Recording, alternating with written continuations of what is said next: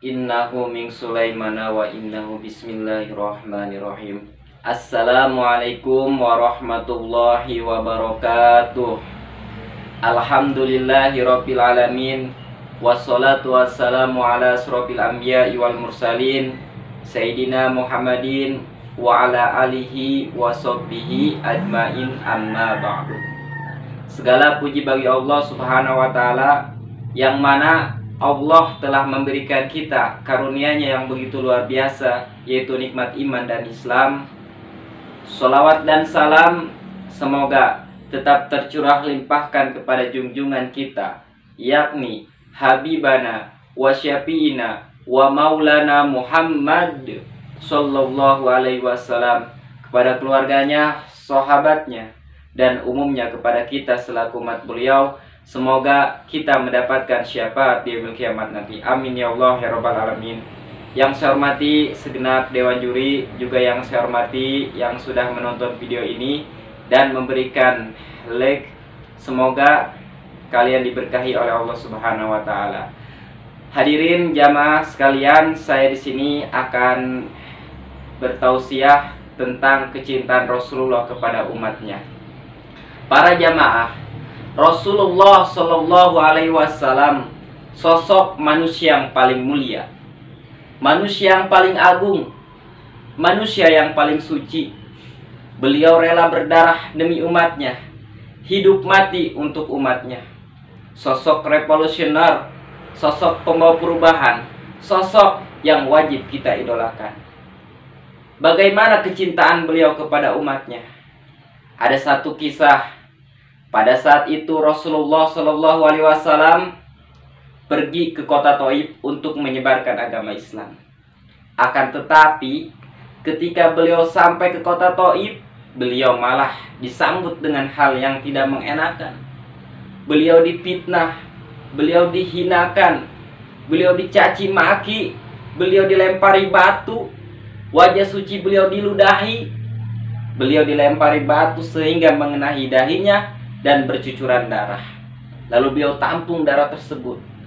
Ada sahabat Nabi berkata kepada Rasulullah, "Ya Rasulullah, kenapa engkau tampung darahmu itu ya Rasulullah?" Kata Rasulullah, "Iya, aku tampung darahku ini. Aku takut nanti satu tetes darahku jatuh ke tanah.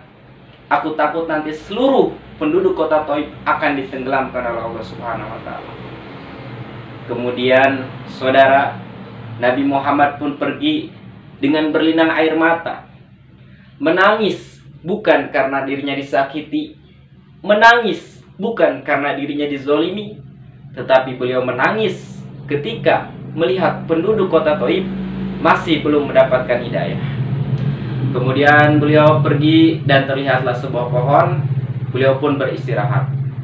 Sambil memandang kota Taib, dengan berlinang air mata beliau berdoa, "Ya Allah, ampunilah umatku ini. Mereka melakukan itu karena mereka belum tahu." Tak lama kemudian saudara, datanglah malaikat Jibril. Malaikat Jibril berkata kepada Rasulullah, "Ya Rasulullah, sungguh keterlaluan umatmu itu." Nabi Muhammad diam. "Ya Rasulullah, Sungguh keterlaluan umatmu itu, Nabi Muhammad dia. Dan malaikat Jibril mengulangi perkataan tadi.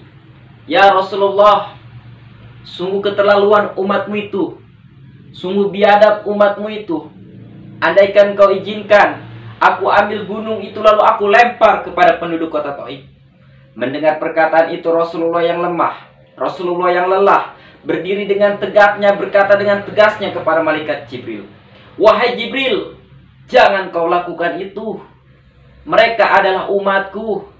Mereka melakukan itu karena mereka belum tahu. Mereka belum kenal Islam. Aku masih berharap anak dan keturunan mereka menjadi ahli-ahli ibadah. Sungguh luar biasa para jamaah kecintaan Nabi Muhammad kepada umat yang satu ini. Tidak ingin umat ini disakiti. Walaupun dirinya dizolimi, walaupun dirinya dikhianati, tetapi beliau tidak sedikit pun mempunyai rasa dendam. Malahan beliau mendoakan kota Taib supaya supaya penduduknya mendapatkan hidayah. Para jamaah, yuk kita sebagai umatnya marilah kita sama-sama mencintai beliau, mencintai Nabi Muhammad Shallallahu Alaihi Wasallam. Pengorbanan Nabi Muhammad sangat luar biasa. Kita tidak akan sanggup membayarnya. Yuk kita sama-sama para jamaah Marilah kita menjalankan segala sunnahnya Melaksanakan perintahnya. Ketika Rasulullah memerintahkan kita puasa Ya laksanakan dong. Ketika Rasulullah SAW memerintahkan kita sholat Ya laksanakan. Ketika Rasulullah memerintahkan kita Untuk berbakti kepada orang tua Ya laksanakan. Ketika Rasulullah memerintahkan kita untuk hormat kepada guru Ya laksanakan tetapi ketika Rasulullah melarang kita untuk bermaksiat, melarang kita untuk berjudi, melarang kita untuk berzina, melarang kita untuk bermabuk-mabukan, ya jauhi perbuatan tersebut. Baik, para jamaah sekalian, mungkin ini yang bisa saya sampaikan kurang lebihnya maaf. Kesimpulannya, marilah kita sama-sama mencintai Rasulullah Shallallahu dengan memperbanyak solawat di bulan suci Ramadan ini. Itulah yang disampaikan kurang lebihnya mohon maaf. Assalamualaikum warahmatullahi wabarakatuh.